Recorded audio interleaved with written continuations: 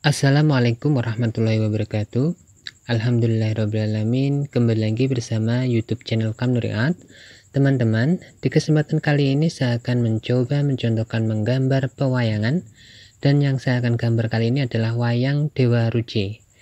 Yang mana Dewa Ruci ini adalah guru dari Werkudara atau kita, kita mengenalnya Bima Sena Sebelum itu, bagi yang baru bergabung ke channel Kamuria, jangan lupa untuk mensubscribe, like, komen ke channel ini. Dan yang sudah mensubscribe, saya ucapkan banyak terima kasih.